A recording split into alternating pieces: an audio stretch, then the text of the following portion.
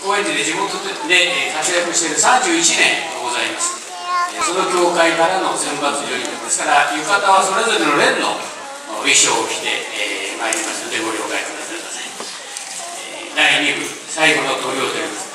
えー、毎年ですね1月に東京後楽園の東京ドームで行われます。ふるさと祭り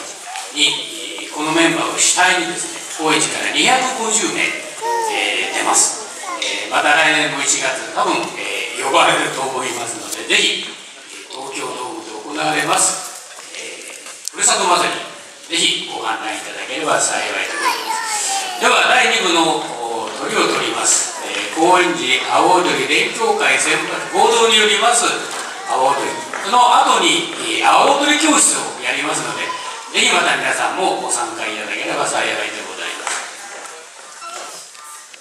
それではご覧いただきましょう。高円寺阿波踊り勉強合同連演舞です。どうぞ。